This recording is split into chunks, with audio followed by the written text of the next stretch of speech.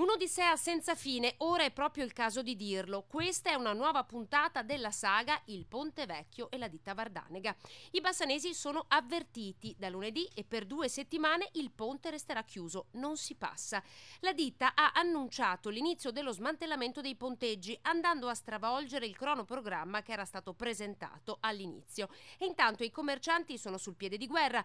Questa chiusura inaspettata mette in difficoltà l'intero comparto, soprattutto soprattutto chi gestisce alimenti. E noi siamo in difficoltà estrema perché una chiusura perpetrata per dieci giorni ci porterà ad avere delle grosse conseguenze economiche.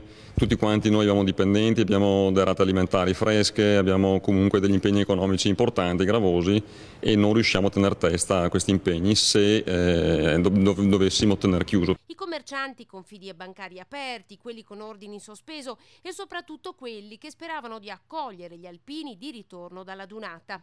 Farlo trovare chiuso è una cosa inaccettabile. Sta facendo di tutto per non eh, portare avanti il progetto. Il riferimento è alla ditta, una situazione come sospesa. La rimozione significa per noi ripartire da zero, quindi non riusciamo a capire eh, tecnicamente cosa sta accadendo. La prossima settimana i commercianti incontreranno nuovamente l'amministrazione.